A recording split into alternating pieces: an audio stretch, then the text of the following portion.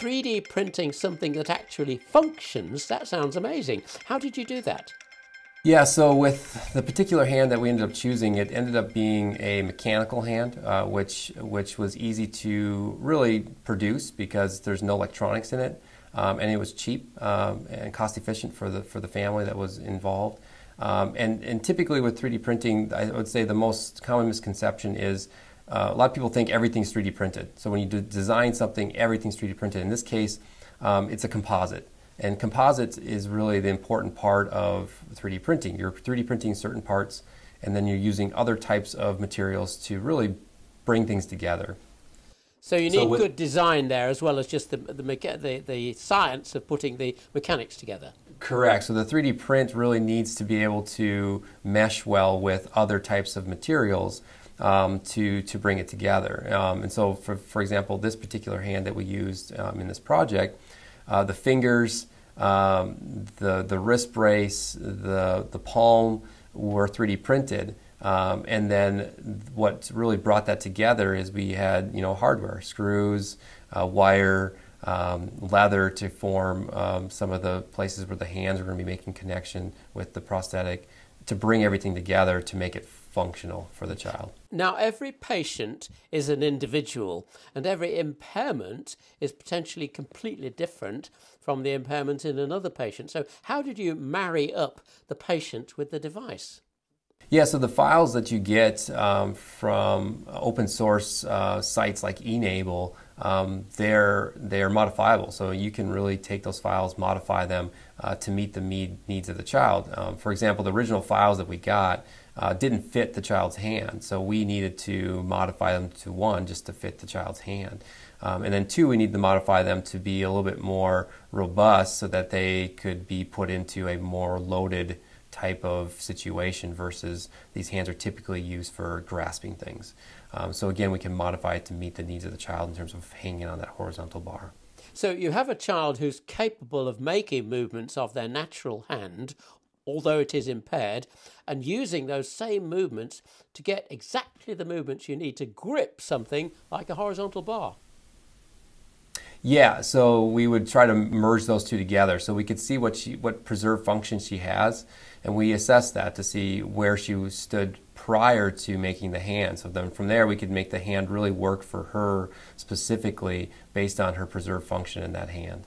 How confident were you before you started this? Because it sounds a daunting task. Yeah, so this is the first uh, application of this type for me, uh, as well as for Dr. Anderson. And so um, we were worried, one, for safety, because typically these hands are used for grasping objects, right? Picking up a cup, picking up a ball. Um, what we were doing is putting it now full body weight and loading it on a horizontal bar which changes the dynamics uh, pretty drastically. So um, safety was our big concern. And so as we designed the hand and tested it out, uh, really it was a staging type of stepwise progression.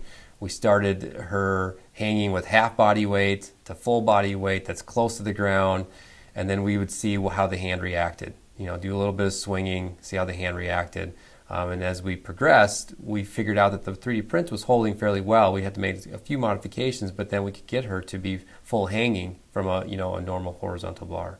And and how happy are you, and how happy is your patient with this device?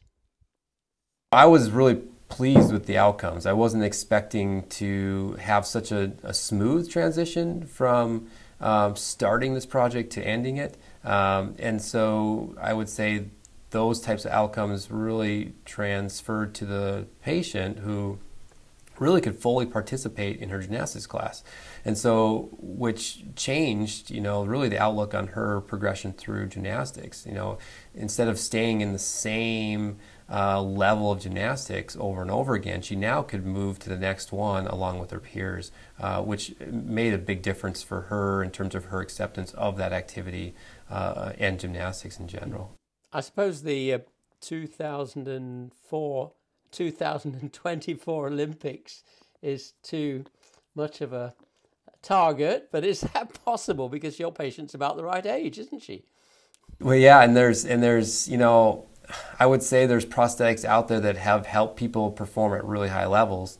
um, the prosthetic we were designing was working at a really low level of activity in terms of what type of gymnastic skills that, that, that the child was doing.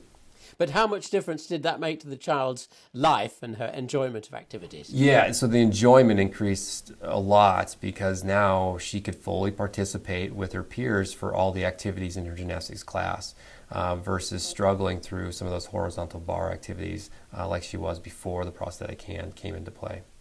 So, what messages would you send out to clinicians out there and physical therapists, especially around the world, about using 3D printing and about marrying this to children with impairments and, and helping them do things they had no idea they would be able to do?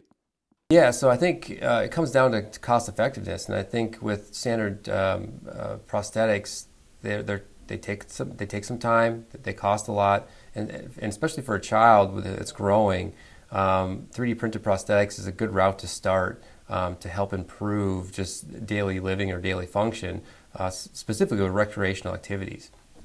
Because 3D printing is so adaptable, um, you can meet the needs of your patient um, pretty efficiently um, and have some pretty good outcomes. And so, a very brief take home message for physical therapists would be what? Uh, 3D printing is on the rise, so keep your eyes out for these types of applications in, in PT, um, and don't be afraid of them. Uh, I think the resources are out there to help guide um, the use of these types of, of, of technologies in, in physical therapy.